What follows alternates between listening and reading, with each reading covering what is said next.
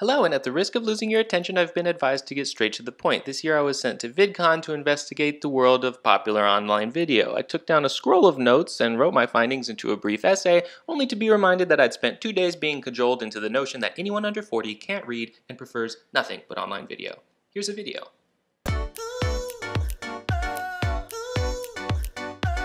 As made apparent by what YouTube calls my channel, despite an embarrassing lack of cohesion and content, I don't like YouTube. It's hard and it's scary. I did not fit in at VidCon. Upon registration, I did encounter an 8-year-old boy barely grasping a half-pointed at the ground handycam slurring out a hey guys I'm here at etc. type of monologue. This proved to be common, as many attendees are recording themselves for the entire conference, the more enterprising of which have half-slave chums who do the recording for them. Anyone apt to watch this video is confused by this behavior and may be confused by the conference itself.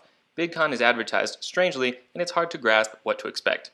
Fortunately, the conference's logo is a perfect encapsulation of this event's twisted hierarchical structure. Quite literally at the bottom is the community, comprised of those who love online celebrities so much that they're willing to pay upwards of $150 to see one. One tier higher is the creator track, comprised of those who want to become said celebrities, and above that is the industry track, comprised of those who want to get rich off of said celebrities.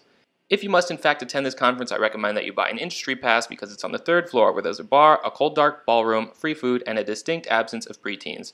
As a brief aside, I should mention that I am not often placed in the presence of children and was completely unprepared for the incredible test of auditory fortitude I was to endure by these shrill and glassy-eyed monsters. If you'd like to save a grand and a trip, here's what I learned at the industry seminars. Nobody knows what's going on. Online video is a treacherous new landscape even after this conference's seventh annual iteration, and established behemoths fall to the wayside without a moment's notice. It's terrifying and unpredictable, as made apparent by this slide entitled Netflix is BAE, in which BAE is punctuated as if to signify some acronym.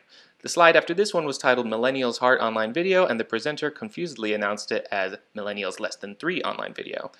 Even without this hilarious slip-up, I do believe that this information was impossible to teach anything to anyone who paid to visit a video conference built on a foundational bedrock of obviously enthralled millennials whose screams can be heard from the third floor past closed doors. More evidence of oblivion can be found in many presenters' references to YouTube as a place for cat videos, a painfully outdated paradigm compared to more timely references to things like memes and jump cuts, which were nary to be heard. I'm told that I've probably lost every viewer's attention by now, so that's the end of the video. Bye! Hey guys, don't forget to like and subscribe. Haha, just kidding, the video is actually over.